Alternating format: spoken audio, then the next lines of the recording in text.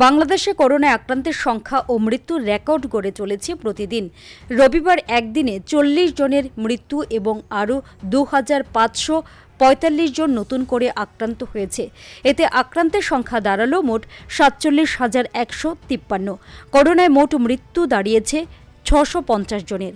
মে মাসে করোনা আক্রান্তের সংখ্যা পঞ্চাশ হাজার ছাড়িয়ে যাবে, এমন পূর্বাভাস দিয়েছিলেন বিশেষজ্ঞরা।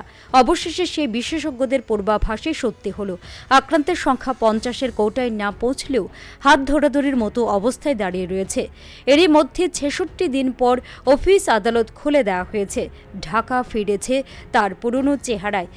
এমন পরিস্থিতি ঘন বসতি ঢাকায় আক্রান্ত যে আরও উস্কে দেবে এটাই স্বাভাবিক।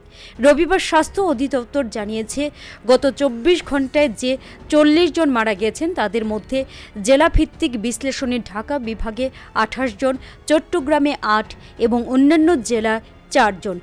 এদের তেত্রিশ জন পুরুষ ও সাতজন নারী। ঢাকা এবং ঢাকার বাইরে মোট বাহান্নটি ল্যাবে বর্তমানে নমুনা পরীক্ষা করা হচ্ছে। নমুনা বিবেচনায় শনাক্তের হার উনত্রিশ দশমিক তেতাল্লিশ শতাংশ। শনাক্ত বিবেচনায় সুস্থতার হার কুড়ি দশমিক সাত চার শতাংশ এবং মৃত্যুর হার এক দশমিক তিন আট শতাংশ। গত চব্বিশ ঘন্টায় এগারো হাজার আটশো ছিয়াত্তরটি নমুনা পরীক্ষা করা হয়েছে। সব মিলিয়ে এই পর্যন্ত নমুনা পরীক্ষা করা হয়েছে তিন লাখ আট হাজার নশো ত্রিশটি। এখন পর্যন্ত মোট সুস্থ হয়ে ওঠার সংখ্যা ন হাজার সাতশো একাশি জন। এদিকে দৈহিক দূরত্ব বজায় রেখে ট্রেন ও জলপথে লঞ্চ সার্ভিস চালু হয়েছে।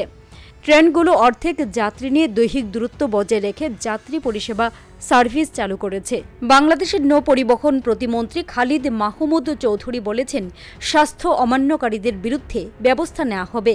কিছু সংখ্যক অসচেতন মানুষের জন্য গোটা দেশের মানুষকে হুমকির মুখে ঠেলে দেওয়া ঠিক হবে না। এই ব্যাপারে নৌ পরিবহন ব্যবস্থা মনিটরিং জোরদার করার তাগিদ দেন।